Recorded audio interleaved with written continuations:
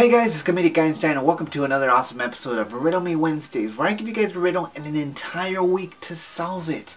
Now last week I had given you a riddle that went a little like this. A basket contains five apples.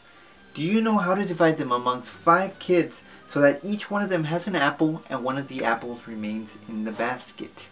The answer to last week's riddle is actually that you give each one of them an apple up to the fourth one and the fifth one gets an apple in a basket or in the basket itself and that's the way that you give each one of them an apple and still keep one of the apples in the basket. So, for those of you who answered, awesome.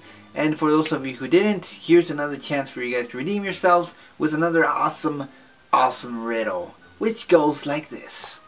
A cowboy arrives in a saloon on Friday. He stays for two days and leaves on Friday. How is this possible?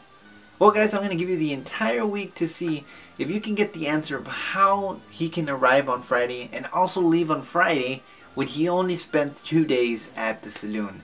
If you think you got the answer, all you have to do is leave it in the comment area down below. And if you get it correct, your comment could be featured at the end of my following video. That's all I have for you guys now. I do hope you enjoy this riddle and ask friends and family if you think you can't solve it by yourself. And as always guys, just remember, entertainment equals meetups comedy squared.